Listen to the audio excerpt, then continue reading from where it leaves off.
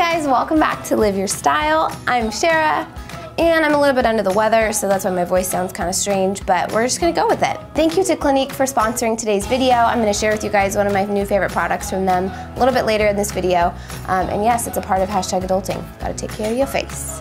Okay, so for today's video, I kind of wanted, I've been wanting to make this video for a while. I wanna share with you guys what I believe to be like the best survival kit for you guys when you move out on your own for the first time. Here are some of the things you absolutely need in your apartment. You need to have like your hashtag adulting survival kit that you're gonna probably wish you had if you don't get it beforehand. And if you guys have been living on your own for a while, these are things that you'll probably go, oh my gosh, yes, I was just needing that one thing last week, or I really could have used that. So it doesn't really matter if you're just now moving out. These are just really good things to have on hand, no matter what. So be excited.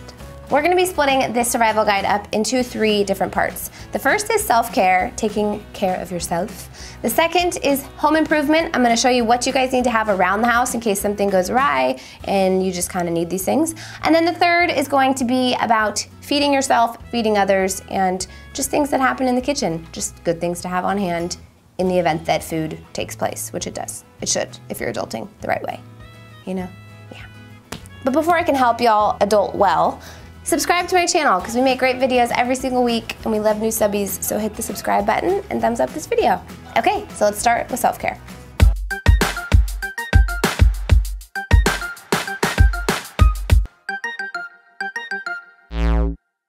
Okay, so when it comes to self-care, it's something you have to just embrace. If you're the kind of person that doesn't like to wash their makeup off at night, doesn't like to wear sunscreen, you need to change your ways because as you get older, your skin is not as forgiving. The first thing I wanna point out is this new Clinique Dramatically Different Hydrating Jelly. I've been using this guy for about a week now consistently, um, and I'm literally obsessed with it. I love it because it's not super thick, but it's super hydrating. So especially in the summertime, like the worst feeling is when you get out of the shower and you're trying to put all of your stuff on and you're like sweating. Using this just seems to absorb in my skin. It makes my skin really smooth and great for like a first layer before I put on my makeup. And the best part is it's oil free, which I love. Um, it has the water jelly texture, which means it's super lightweight and still super hydrating. And it doesn't leave any residue, which is great. It provides 24 hours of lightweight hydration, and the best part is it does protect your skin against all the pollution and all the stuff and the crap that's out in the air that you just, your skin kind of hits whenever you walk out your front door. Um, and it kind of creates that nice barrier so it protects your skin, which is wonderful. But this is something I highly, highly recommend. If you guys want to try this out, I'll add a link below. You guys can learn more about it and order it, or you can go visit a Clinique counter near you and pick up a bottle. And again, I love it during summertime, so I highly recommend it.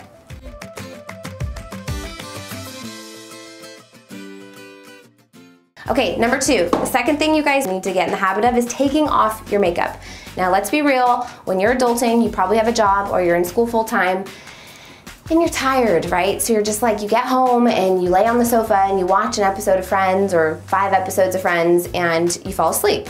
Well, here's a great way to avoid that. Do what I do, get yourself some makeup wipes, put it in a little box that you can slide underneath your sofa, and whenever I get home and I'm super tired, I can take out my contacts, I put my glasses on, I have my little makeup wipes right there, and as I'm watching TV, I can take off my makeup. I usually do wash my face before I go to bed still, but in the event that I fall asleep, at least my makeup is off. That is like a total win if you're the kind of person that does not ever wash their face. Get yourself some makeup wipes and put it underneath your sofa. Number three, facial masks. I'm sure you guys have seen, it's all the rage right now, those paper facial masks. I love them because I can put it on my whole face. It's super moisturizing and you can clean the house. I do it sometimes when I have a long drive if I'm in traffic, um, but they're just like kind of a fun, easy, quick way to get some good hydration and um, kind of just take care of your skin. Number four, sunscreen. I've always said this, sunscreen is amazing if you guys don't wear it on your face every single day. I don't care how old you are, I don't care if you wanna get a tan, you're still gonna get your face tan.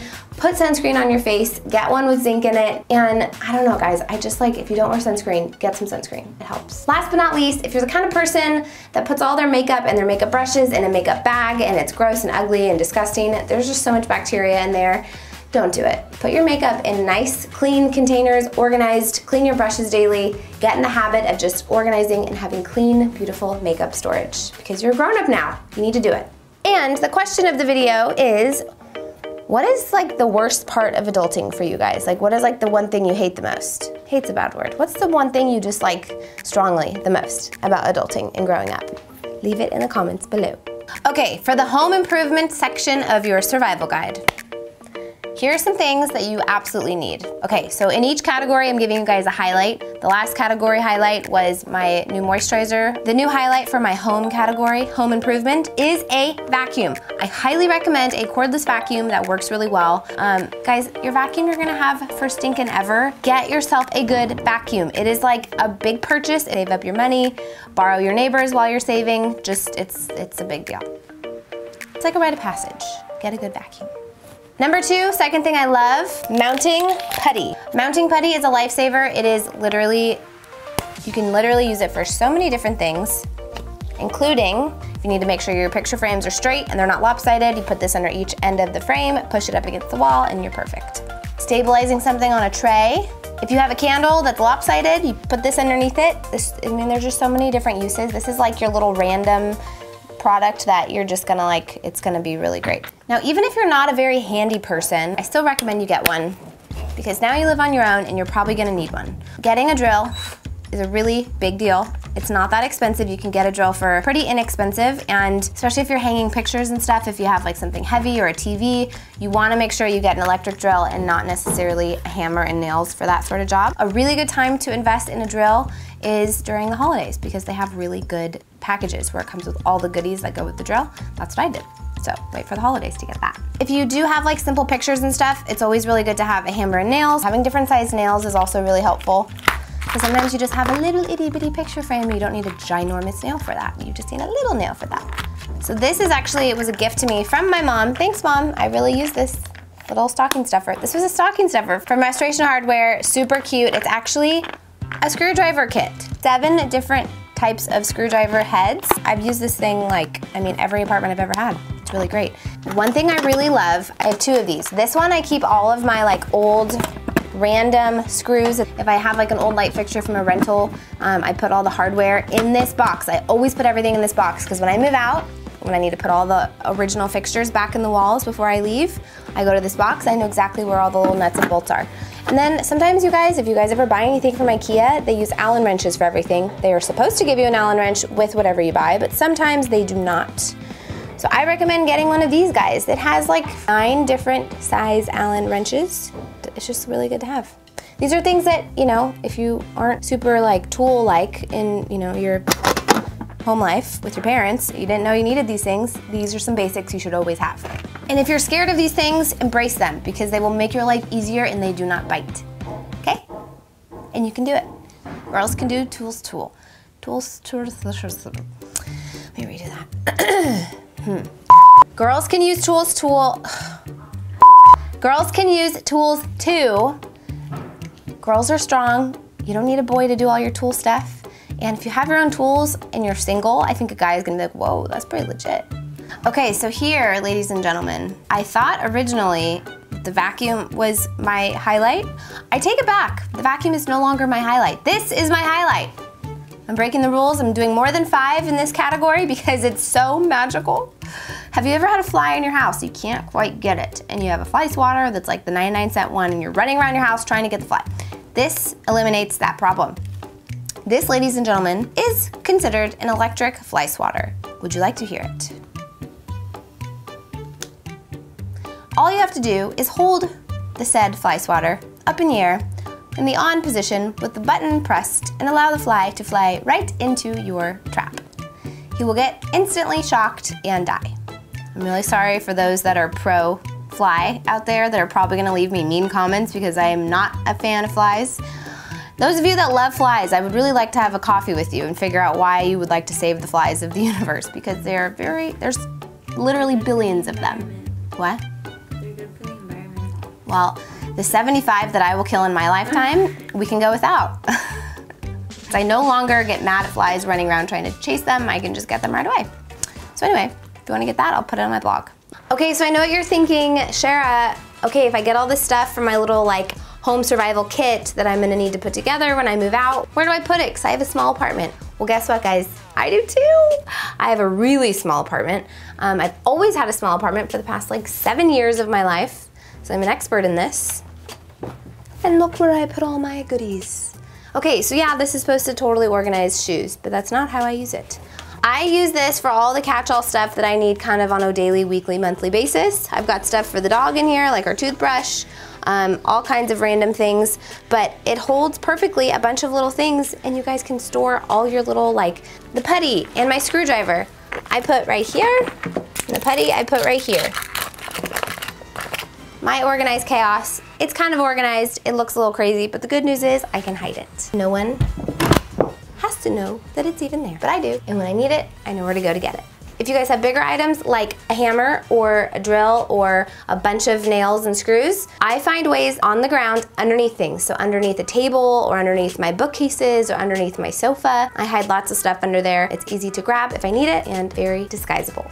If you guys want more of these hacks, by the way, I'm only giving five in each category. I have like 40 on the Live It Journal this week. Um, all the little things that are in my toolkit, my home improvement toolkit, and some of the things I have for entertaining and like just little hacks, little products that I found over the years. I'm gonna give all my secrets, dish out all my little tricks and tips for hashtag adulting, help you guys really just like get over that initial shock of being on your own. It's gonna like really help you guys. So if you wanna sign up for the Live It Journal, I will put the link below. Join the fam, enjoy the beauty of learning how to implement this stuff into your own lives and living your style. Let's move on to the kitchen food portion of this video. Okay, all the kitchen goodness is about to be shared. Okay, my adulting tips for the kitchen and, and or eating in general. Um, get yourself a blender. You can make everything in these fancy exclusive blenders that they make these days. You can make soups, you can make ice cream, you can make smoothies, duh. You can chop veggies. No longer do you need a chopping board to chop your veggies, you can put them in a blender and it chops them for you. You can literally, when you make soup, I've made soup in this thing, you can make soup and it comes out hot from the blender. You don't have to then heat it up. It's actually insane. I highly recommend it. This is my highlight for the kitchen. I make smoothies all the time because I'm always on the go. I'm always running late. Um, smoothies are really healthy. You can get all your vegetables in them. Just put some spinach and cover it up with some banana. It's delicious and it's quick and um, they have really good warranties and um, they're great. So, oh, and they clean themselves. Guys, that's pretty revolutionary and pretty cool. Get yourself a fancy blender. Number two, two, get yourself either a slow cooker or a fast cooker. If you guys are the kind of people that would rather get ahead of the game, plan ahead, put something in a crock pot and then go to work for six hours and come back and like have dinner, then do that. That worked for me in the very beginning. But nowadays, I'm not as planned out. I'm kind of more last minute. When I have frozen chicken in the freezer and I need to make something really quick, I can go from frozen chicken in 30 minutes and have like super tender, juicy chicken, not have to wait for it to defrost and all that. This next one is kind of a favorite of our household. They are trash bags. They are fancy trash bags. They have little hoops. It's like a really big shopping bag, but it's the whole size of a trash can. And they fit around a trash can really well. They are really easy to pick up and take to the trash if you have to throw stuff out or you just need to use it as like a bag to catch stuff. Highly recommend these trash bags. They are awesome. Also, if you guys drink wine, uh, I don't know what else you could aerate. Maybe you could aerate juice. That would be kind of fun. But I got this as a wedding gift. Um, this is a wine aerator and it's actually like really fun to just like whip out at parties. People love it. It's kind of a cool gadget, but it's also really good at its job and it aerates wine, it makes the wine taste better and it's just like super fun and fancy and makes wine just so much more fun to drink. Like as if it needed to be more fun. It actually is. Love this aerator, really cool and great for those that are adulting over 21. And last but not least, if you live in the LA or San Diego area and maybe all of California, I'm not sure, but plastic bags are technically not allowed anymore. We're trying to save the planet. So most of the grocery stores today, you have to buy your grocery bags if you don't bring them. So I just invested in a couple. They're like dollar, two dollars when you buy them at the grocery store. They're like a tote, like a linen tote or plastic. Now you have to do your own grocery shopping and you guys can all save the planet. Even if it's not illegal in your own town to have plastic grocery bags, I don't know, you're just doing your part, you know? Okay, that is all I have for you guys today. I hope you enjoyed today's video. I know that I did. I'm not kidding when I tell you these products are gonna change your life. If you guys wanna find any of the things I referenced today, click the link below, uh, go to the blog, or I think I'll link them below in the description box. Don't forget to thumbs up today's video, hit the subscribe button if you are not part of the subscribe fam, because we love subscribers and you need to join the Live Your Style family. And speaking of Live Your Style, if you want to take my videos to the next level and not just watch them, but live them and learn how to apply them to your own specific homes and specific spaces, click the link below and join the Live It Journal family. We have this great thing called the Live It Journal, and it's amazing. Every single week, you guys get a new journal entry that applies and goes along with whatever video we do every single week. The videos are free. The journal entries help you guys personalize it if you want to start living out my videos and applying these great style tips and organizing tips to your own spaces. So I hope you join us. I hope you sign up. Click the link below and find out more. Okay, guys, thank you so much for watching. I will see you guys next week, and I hope you have a great weekend and all the things. Love you. Bye bye.